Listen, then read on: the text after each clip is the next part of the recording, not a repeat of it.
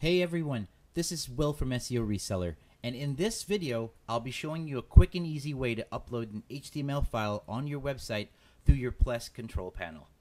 Now, you'll need access to your website's control panel, so if you don't have access, you'll need to contact your website administrator or webmaster. Now, here are the steps. Go to your dashboard and download the zipped HTML file, which is located in the Method 4 section within your white label, then dashboard setup.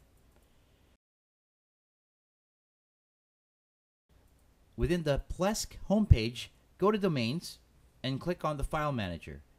It should be in the HTTPS docs folder of your root directory folder. Then click New, then choose Create New Directory. Label the folder as Dashboard.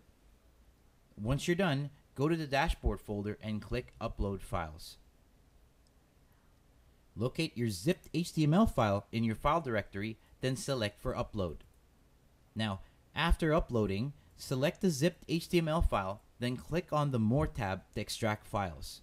It'll only take a few seconds to extract the file, so it will appear in your dashboard folder. Congratulations, you've now successfully uploaded your own HTML file in Plesk. You'll now be able to access your client dashboard by going to yourdomain.com slash dashboard.